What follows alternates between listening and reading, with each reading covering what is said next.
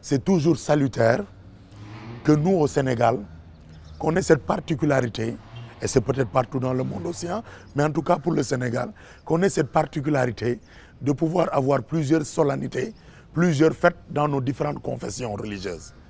Les musulmans auront leur tabaski, leur korité. Le catholique aura sa, sa, fête de Noël, sa fête de Pâques, sa fête de 15 août.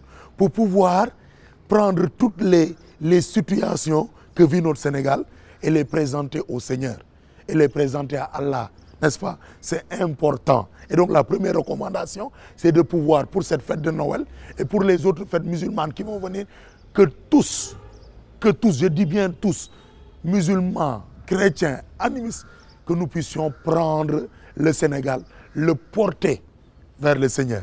Prendre le Sénégal dans toutes ses composantes, surtout dans ses composantes politiques, et porter cela pour que le Sénégal sorte de ces élections-là dans la paix. Et que le Seigneur puisse nous donner, avant même les élections, de pouvoir avoir un climat apaisé, où il n'y a pas de violence pendant, toute la campagne électorale. Et vraiment, ça, c'est ma recommandation. Je m'adresse donc aux politiciens. Je n'en ai pas le droit, je n'ai aucun droit sur vous.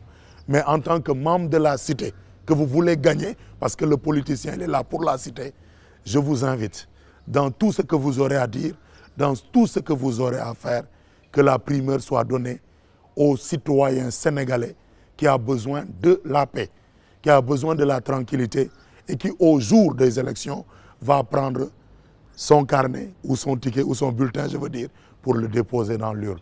Que paix soit donnée au Sénégal avant les élections, le jour des élections et après les élections.